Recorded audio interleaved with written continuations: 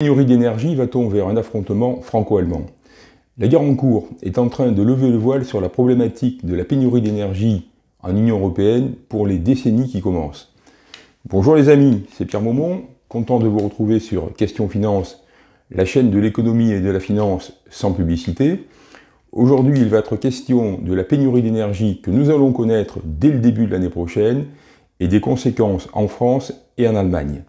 Deux informations avant de commencer. La première, c'est que j'ai écrit un rapport de 17 pages sur les solutions pour se protéger des risques financiers et monétaires en 2022, avec la guerre économique contre la Russie, et bientôt peut-être la guerre tout court, la crise de l'euro qui s'aggrave, et maintenant le retour de la crise bancaire qui menace. Tous les ménages devraient en avoir connaissance. Je mets ce rapport à votre disposition gratuitement. Le lien pour y accéder est visible sous la vidéo et en tête de la partie description. La deuxième est que vous pouvez retrouver mes vidéos sur la plateforme Odyssée. N'hésitez pas à vous y inscrire pour faire aussi monter cette plateforme, enfin aussi faire monter la chaîne sur cette plateforme, sur laquelle les vidéos ne risquent pas la censure. Pour nous chauffer, nous utilisons surtout le gaz et l'électricité. Mais l'électricité est produite en partie par des centrales à gaz. Conclusion, la satisfaction totale de nos besoins de chauffage en France, comme en Allemagne et dans beaucoup d'autres pays, repose sur une disponibilité suffisante de gaz. Elle était assurée en, Union Européenne, en France et particulièrement en Allemagne, depuis en gros 25 ans, par le rôle du gaz russe dans nos approvisionnements. Avec d'abord l'embargo, entre guillemets, de l'Union européenne sur le gaz russe, vous vous rappelez qu'au début de la guerre, parmi les mesures de communication que l'Union européenne avait prises pour s'opposer à l'entreprise russe en Ukraine, on avait décrété une sorte d'embargo, c'est-à-dire qu'on n'achèterait plus le gaz russe. Bon, c'est quand même bizarre de ne plus acheter une ressource dont nous avons absolument besoin, donc cet embargo était beaucoup plus verbal que réel. Par contre, il a été suivi de la fermeture réelle et très forte des robinets par les Russes, qui donc ont pris les Européens au mot, vous ne voulez plus de notre gaz, eh bien, on ne vous en livre plus. Et surtout, depuis trois semaines, par la destruction des gazoducs russes de la Baltique. L'Union européenne est depuis privée, sans doute pour des années, de cette ressource.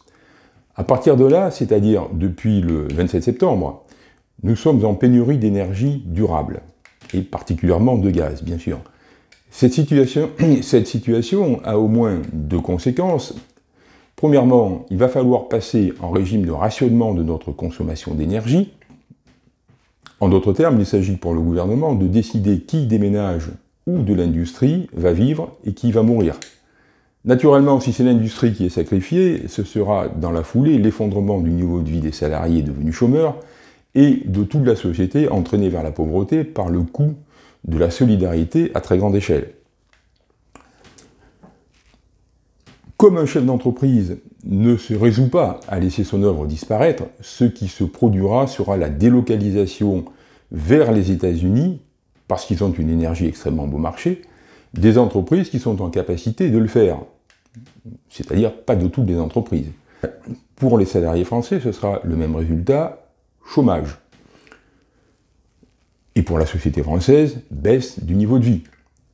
Jusqu'au début 2023, les réservoirs pleins en France à 98%, en Allemagne à 95%, permettent et vont encore permettre, donc pendant quelques petits mois, de limiter les effets du tarissement des approvisionnements en gaz.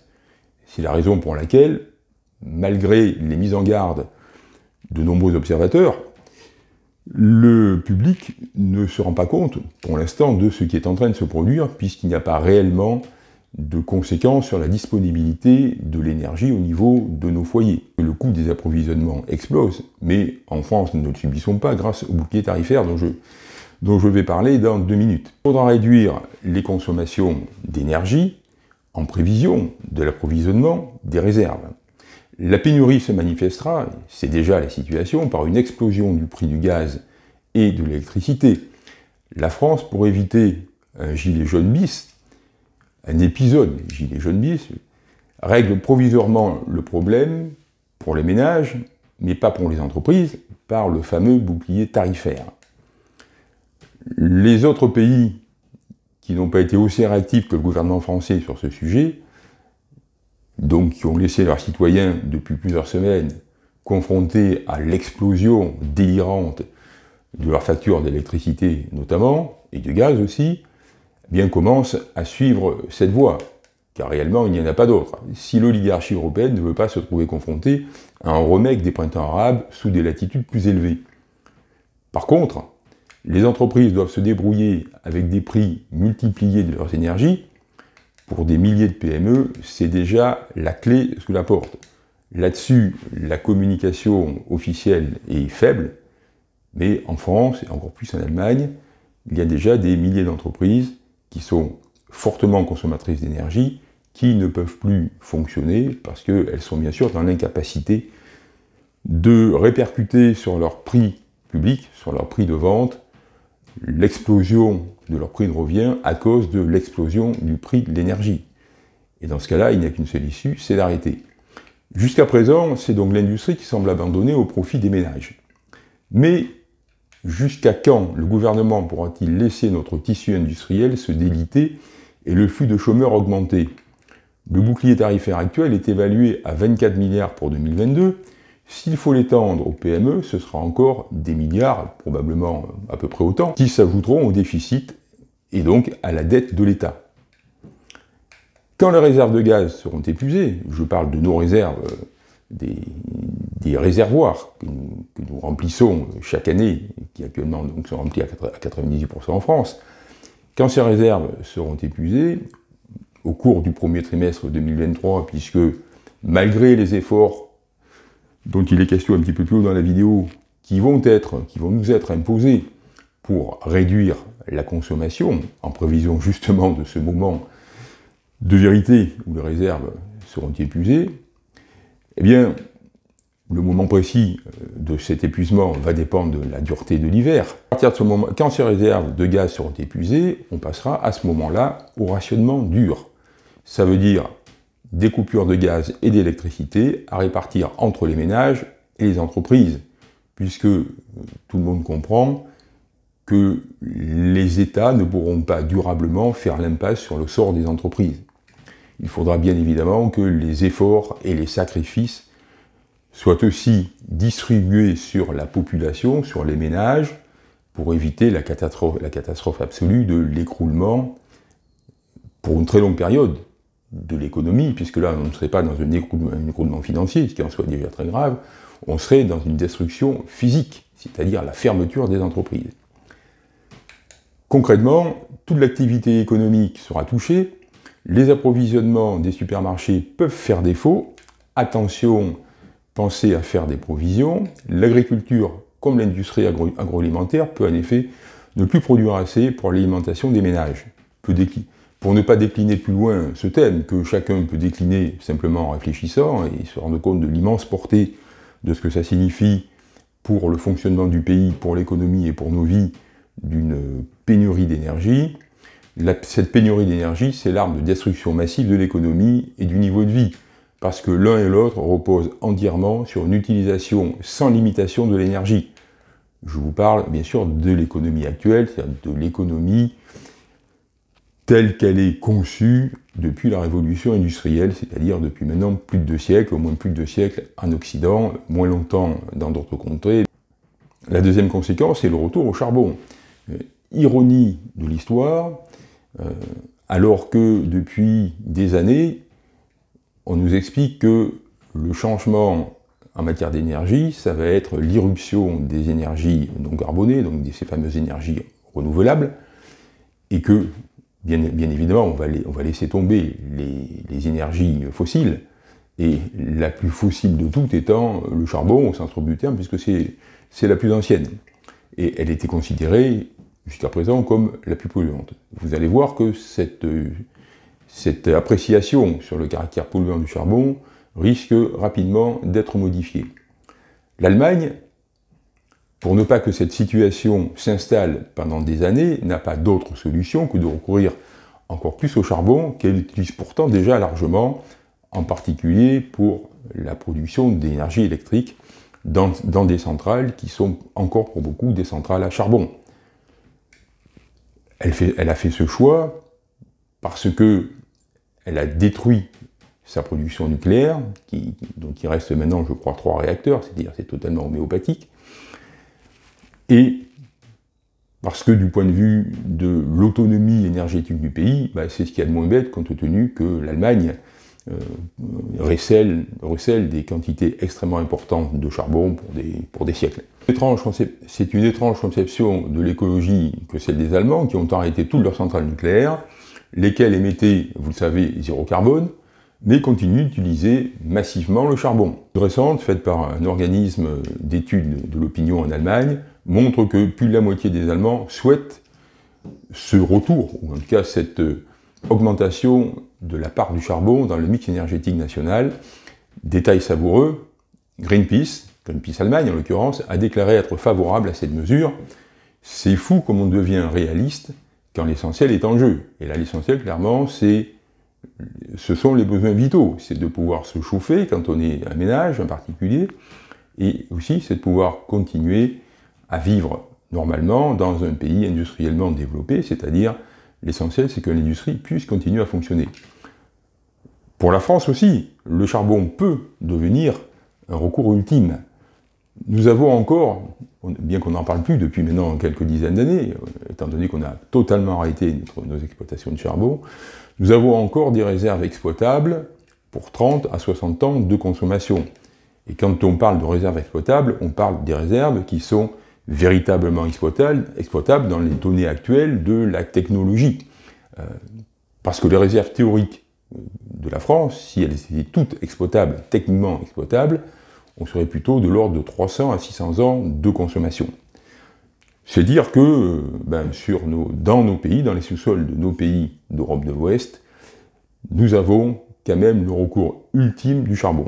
Cela veut dire que pour la France comme pour l'Allemagne, la vraie transition énergétique, c'est le retour au charbon. Les propos peuvent surprendre, puisqu'ils vont contre peut-être 20 ans ou plus de propagande pour l'abandon des énergies fossiles. Mais ne soyez pas surpris si, à partir de maintenant, une nouvelle petite musique vient, à vos oreilles sur le thème du nouveau charbon, énergie d'avenir non polluante. On vous parlera bien sûr du nouveau charbon, c'est-à-dire qu'on mettra un nouvel emballage marketing au charbon, en vous expliquant que les progrès de la technologie, les, travaux qu'on a fait sur, la combustion font que le charbon est beaucoup moins polluant, euh, qu'on a mis en place des systèmes pour récupérer le CO2, puisque la combustion du, charbon, ce n'est pratiquement que du CO2 comme, euh, produit euh, qui en sort, et que on, a trouvé aussi des solutions pour lutter contre les particules fines, etc., etc. Enfin bref, le charbon qui était le, le damné Hein, le, diable, l'énergie diabolique, va devenir une super énergie verte, tout simplement parce que pour nous, ça va être ça ou la disparition en tant qu'économie. Troisième conséquence, nous allons voir comment l'Allemagne applique la solidarité européenne quand il s'agit pour elle, comme pour la France, de sauver leur peau. Depuis le, depuis le 13 octobre, comme en avait convenu Macron et Scholz en septembre, nous livrons, nous, la France, nous livrons du gaz à l'Allemagne pour l'aider à faire face à l'arrêt du gaz russe. Notre gestionnaire de transport de gaz, qui s'appelle GRT Gaz, a dû d'ailleurs adapter le réseau gazier pour approvisionner directement le réseau allemand sans passer comme avant par la Belgique et, me semble-t-il, les Pays-Bas.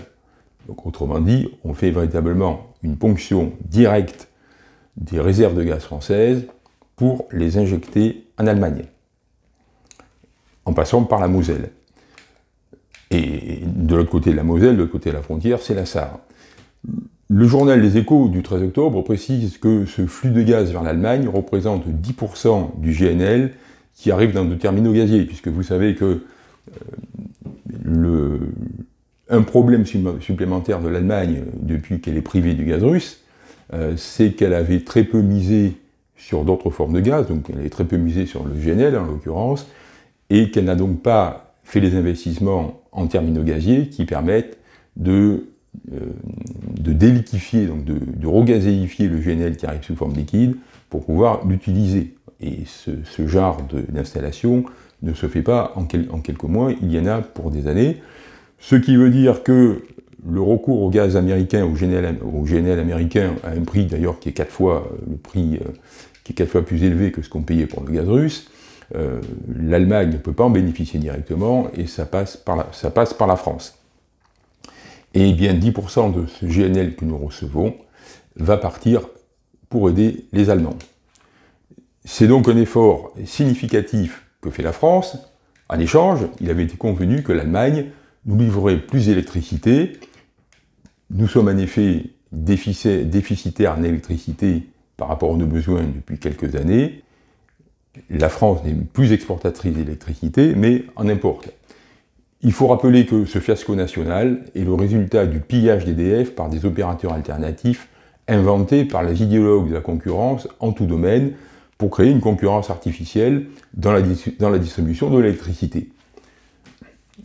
Faute d'argent, parce que ce pillage coûte, me semble-t-il, enfin si j'ai bien, mémorisé les, proportions à ce sujet, euh, c'est 30% euh, de la marge d'EDF qui est dilapidée pour permettre à ces parasites, que sont les opérateurs alternatifs, des parasites au sens propre du terme, puisqu'ils ne produisent en réalité rien du tout, ils se contentent de, de, facturer, euh, de facturer une électricité qu'ils achètent en dessous de son prix pour la revendre avec une marge très importante, eh bien, euh, cela coûte à EDF 30% de ses marges, et bien, bien évidemment, euh, c'est autant d'argent qui n'est plus disponible pour entretenir suffisamment les centrales nucléaires, d'où en, partie, en grande partie à cause de cela, le fait qu'aujourd'hui, plus de la moitié du parc de centrales nucléaires, euh, je, crois que c'est, euh, je vais pas dire de bêtises, euh, c'est une trentaine sur 52,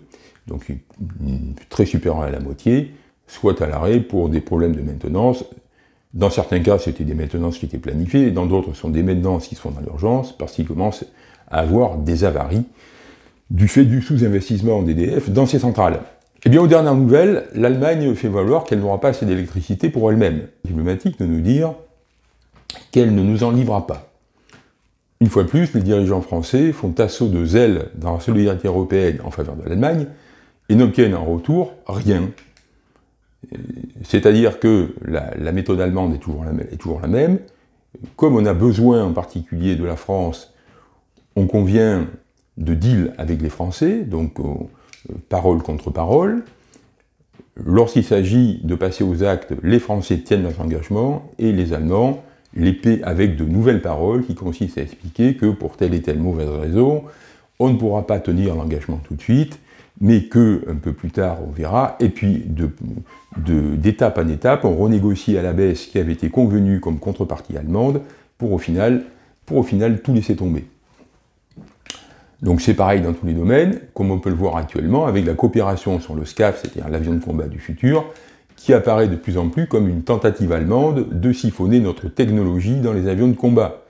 Puisque vous savez certainement qu'en matière, vous savez, euh, puisque en matière militaire, dans l'Union européenne, la France est très nettement le pays le plus en avance du point de vue technologique. Donc siphonner nos technologies dans les avions de combat, ou à défaut, de faire perdre des années à notre avionneur d'assaut dans le développement du nouvel avion, dans le but, évidemment, qu'un jour, la technologie, allemande ait rattrapé ainsi le retard et que, à l'export, les Allemands puissent nous concurrencer avec un avion qui serait plus ou moins comparable au nôtre. Alors, cette parenthèse doit nous éclairer sur les désillusions qui nous attendent si nous comptons sur la solidarité allemande pour affronter la pénurie d'énergie. Alors, suis-je injuste envers nos chers amis allemands? Eh bien, nous le verrons bientôt. Alors, au-delà de cette crise qui survient pour des raisons qui sont politiques, mais qui, ne sont pas à proprement parler un manque d'énergie disponible dans le monde, en tout cas actuellement, eh bien cette crise en fait n'est que la répétition, elle ne fait qu'anticiper la pénurie d'énergie à laquelle l'économie mondiale va se heurter au cours du XXIe siècle, c'est-à-dire dans les années qui viennent. La guerre de l'énergie va devenir féroce, les pays dont le gouvernement ne défendra pas bec et ongle les intérêts et l'indépendance avant tout, avant tout autre seront dominés par les vainqueurs. Parce qu'il y aura effectivement, dans cette guerre de l'énergie, il y aura des vainqueurs et des vaincus, et il est fort à craindre que les vaincus perdent à peu près tout, puisque sans énergie suffisante, c'est un recul de, non pas de décennies, mais de deux siècles, dans, dans l'économie et dans le niveau de vie des pays. L'enjeu principal des prochaines décennies n'est pas dans les énergies renouvelables, qui se révèlent coûteuses, aléatoires et peu performantes. Il faut d'ailleurs rappeler que leurs lacunes rédhibitoires dont le public n'a pas conscience, et qu'elles ne sont pas renouvelables sans fin. La panoplie des métaux rares utilisés, en particulier dans les éoliennes, dans mais pas que, hein, euh, également la, production euh, au niveau des panneaux solaires euh, fait appel à des matières premières, notamment le sable, dont on manque de plus en plus. Ces métaux, ces matières premières, n'ont des réserves que de quelques décennies pour les moins rares. On ne parle pas non plus de la pollution massive et de l'empoisonnement des sols qui va avec leur extraction, et encore moins des océans d'hydrocarbures consommés par ces extractions. Le vrai sujet dès à présent est le contrôle des énergies fossiles pour les prochaines décennies.